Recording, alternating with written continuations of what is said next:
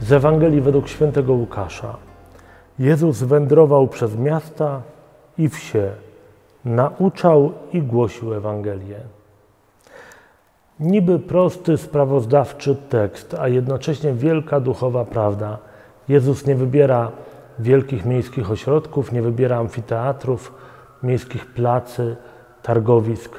Wybiera mm, miasteczka i wioski, które są zupełnie peryferyjne, świadom tego, że to tam na peryferiach są ludzie najbardziej spragnieni dobrej nowiny, że to tam na marginesie, w cieniu są ludzie, którzy w codzienności cierpią, szukają nadziei, w swoim bólu bardzo potrzebują Jezusa.